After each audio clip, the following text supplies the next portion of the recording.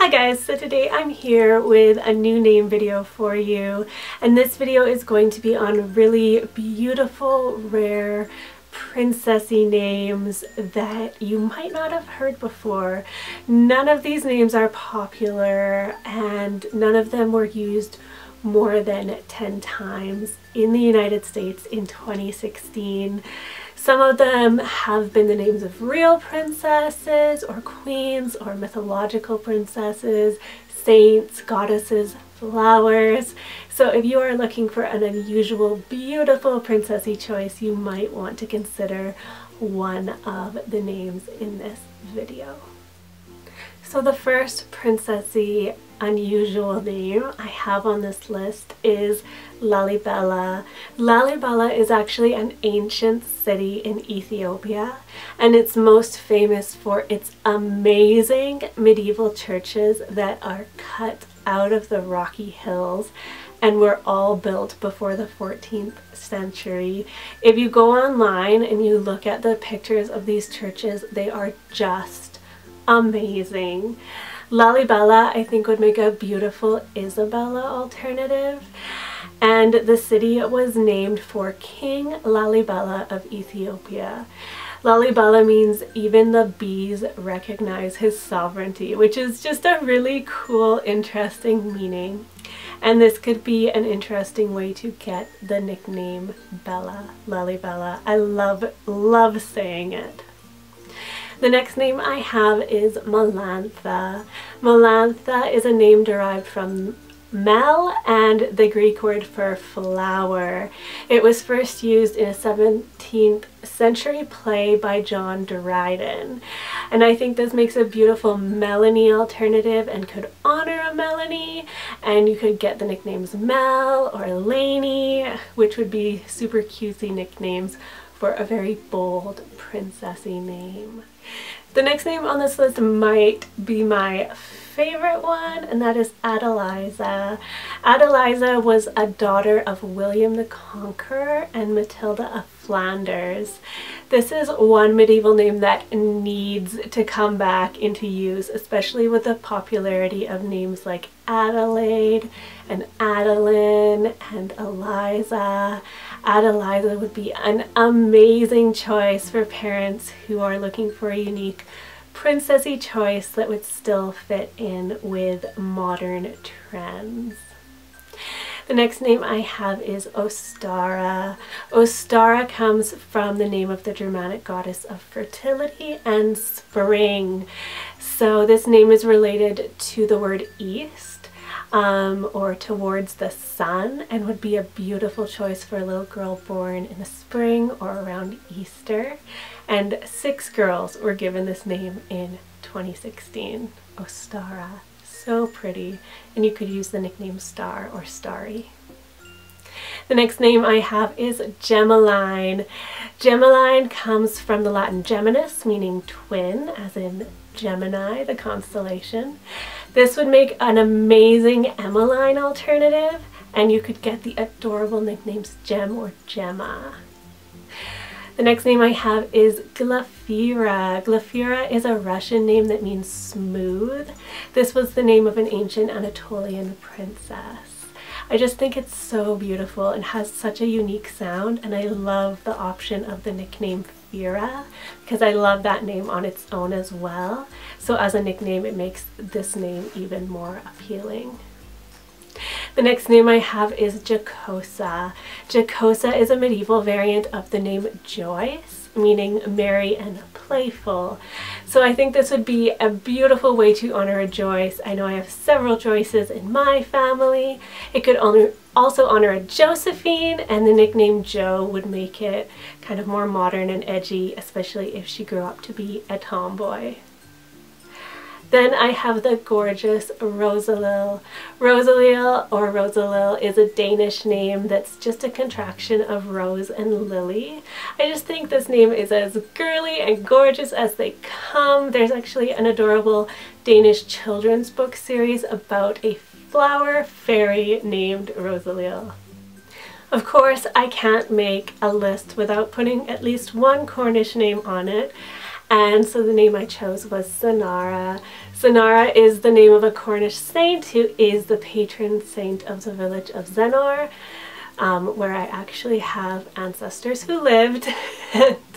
it may also be related to the name Helen, which means light. I think Senara fits in with names like Selena and Serena, and so I don't think it would be that out there to use in North America.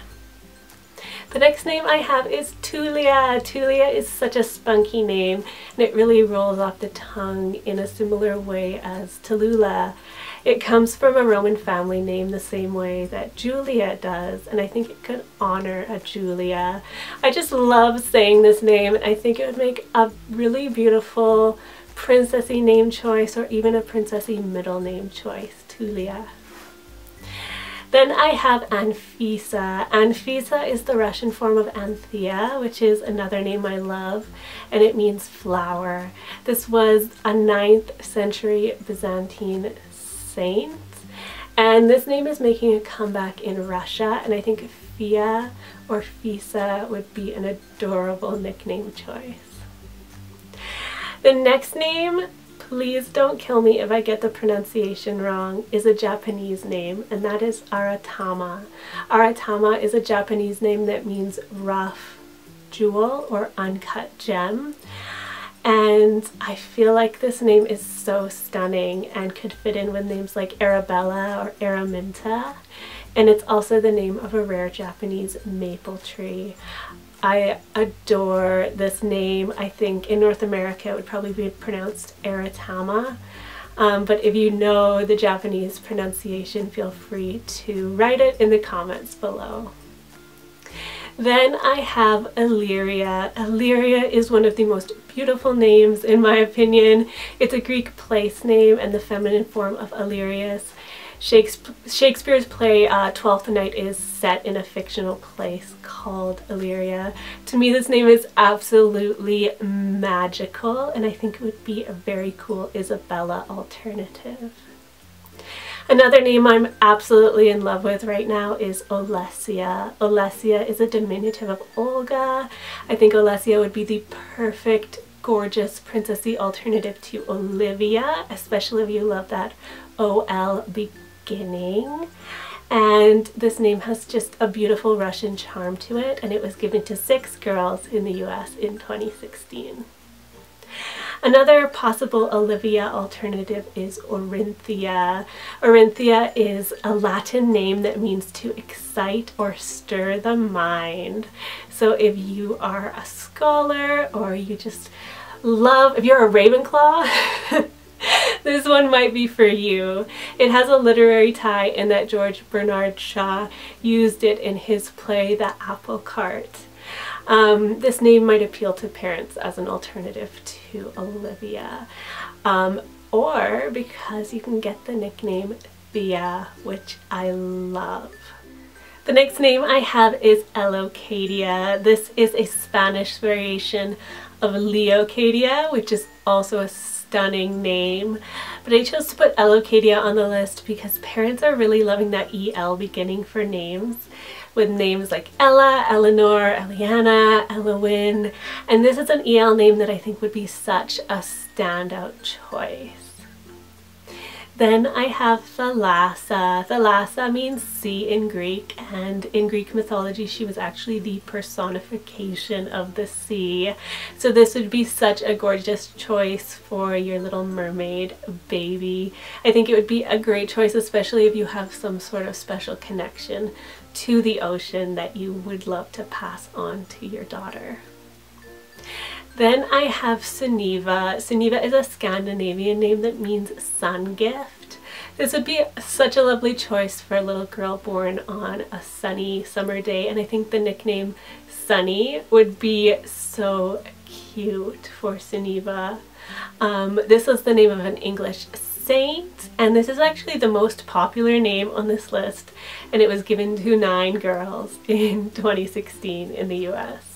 And I saved one of my favourites for last and that is Ferelith. Ferelith is a Scottish name that means true sovereignty, so definitely a meaning fit for a princess. Ferelith is a whimsical princessy name that has been used among European royals and I think Fairy would make an adorable nickname choice for Ferelith. So let me know what you thought of these names and what are your favorite whimsical fairy tale princess names. Let me know in the comments below. Don't forget to follow me on Instagram at Amelia Everything Baby Names. I post daily on there, fun name lists and just little goodies. So definitely go check out my Instagram. And thank you guys so much for watching and as always I will talk to you later. Bye.